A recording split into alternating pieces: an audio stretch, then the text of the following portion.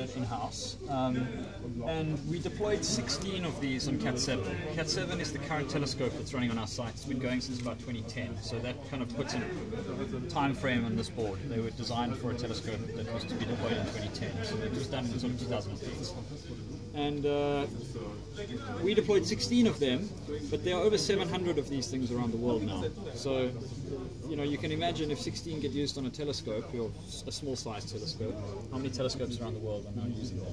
So we're kind of proud of that. It, it, um, it's, uh, it's become very popular, and it's, uh, it's nice to know that South Africa is playing a, a part.